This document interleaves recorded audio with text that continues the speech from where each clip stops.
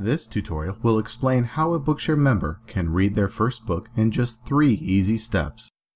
Note that your account must be approved by Bookshare.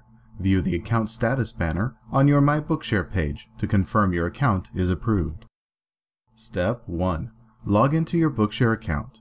To start, open your browser on your computer, go to bookshare.org, and log into your account. Step 2. Find a book. Find a book by searching for specific books or browsing. You can learn more about finding books in the Learn It Now tutorial, How Do I Find and Request Books? You can also learn more in the Help Center under Learn About Bookshare.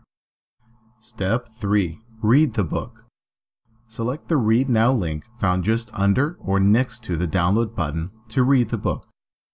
Bookshare's web reader provides text-to-speech and word highlighting through an extension on the Google Chrome web browser.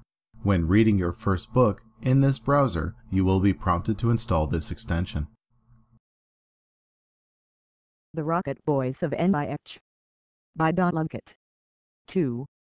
Dedicated to researchers young and old who dream of a better, more healthy world. Congratulations, you have read your first book. To learn more about other Bookshare topics, visit the Bookshare website, the Bookshare channel on YouTube, and Bookshare on Facebook, Twitter, and Pinterest.